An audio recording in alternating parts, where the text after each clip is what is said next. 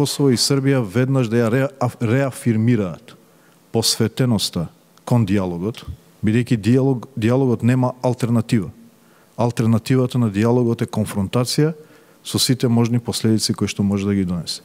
А диалогот значи посветување кон имплементација на договорот од Брисел и анексот од Охрид.